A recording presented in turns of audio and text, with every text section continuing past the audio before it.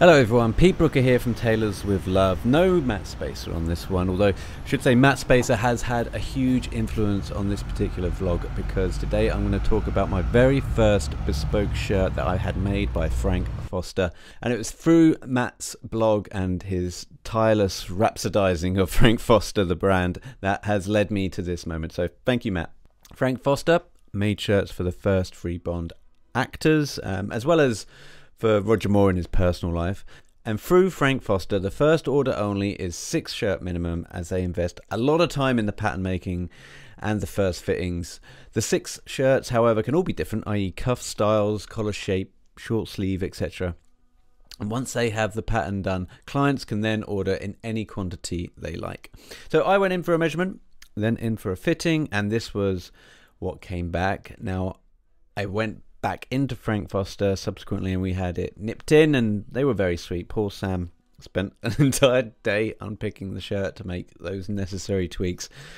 And can you believe, after all that, she and Mary, who has been there since the beginning, still had the good grace to send me a Christmas card. That is a thing of beauty. Now, here it is. Okay, honest first impressions. It it feels so good around the waist. and as I model this shirt with a couple of different outfits here, I'm going to give you some details of the shirt. The fabric for this striped shirt is cotton poplin, made by a company called David and John Anderson. Frank uh, would buy the materials directly from the mill in Glasgow, Scotland. And in my correspondence with Sam, who is Frank's daughter, would have many, she told me she had many invoices from the mill starting in the 1960s through to the late 70s. So we're confident we can date the fabric from, from around about then. Although the label of the mill is on the fabric, the invoices only have numbers, so it's hard to match them precisely. The cuffs are the Frank Foster design of cocktail cuffs. Frank preferred this one. It is slightly different to the earlier cocktail cuff they used in the Persuaders and Live and Let Die. The collar shape. Now, the collar. This was chosen to best suit my face shape and neck dimensions. And the buttons, they are all four hole mother of pearl natural shell. So again, no cutting corners on this. Nothing but the best for the captain's table. And that's it really. So just a quick update. Obviously, we're all on lockdown at the moment, so Frank Foster's is, at the time I'm recording this, not open um, at their place in Pall Mall. But what I want you to do is start going through their Instagram page at Frank Foster Shirts. So Frank underscore Foster underscore shirts.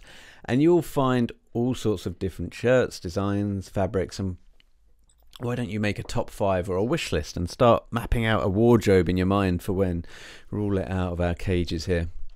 And if you're a fan of the Bond films in particular, maybe pay closer inspection to the shirts in some of the scenes from the films. Or head over to Matt Spaiser's blog and take a look at some of the descriptions of some of the shirts. And email frankfostershirts at gmail.com and ask them, hey, can I talk shirts? um, they'll love that. So you might like the the Christopher Walken one, for example, that he's wearing in Chateau Chantilly, or the one Roger wears in The River Chase and and Die. You know I do. And you never know, they might even have the same fabric that was used in the film. So, okay, that's it from me.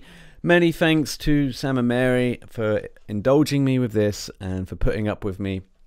And uh, until next time, buenas fortunas.